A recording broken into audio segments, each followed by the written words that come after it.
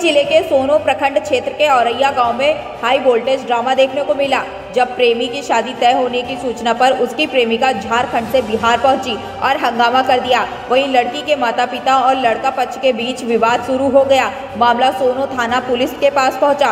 Police और ग्रामीणों का दबाव बढ़ता देखकर दोनों की शादी करवा दी गई। आपको बता दें कि प्रेमी इस शादी से नाखुश था और उसने कहा कि यह विवाह ज़बरदस्ती कराया गया है।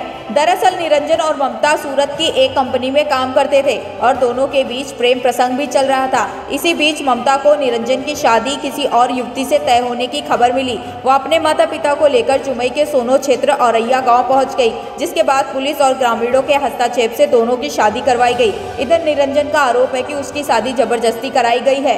आपको बता दें कि वही ममता का कहना है कि हम दोनों एक दूसरे से प्यार करते थे। लड़के द्वारा जब शादी से इनकार किया गया तो हम लोग झारखंड से जुमई गाँव चले आए। यहाँ ग्रामीणों और सभी की सहमति से दोनों का विवाह हुआ। शादी में किसी तरह की कोई ज़ोर ज़बरदस्ती नहीं की गई है। इधर इस मामले में पुलिस का कहना है, अगर शादी में कोई ज़ोर ज़बरदस्ती की बात हुई है तो उसकी जाँच कर दोषियों पर कार्यवाही की जाएगी। ब्यूरो रिपोर्ट आई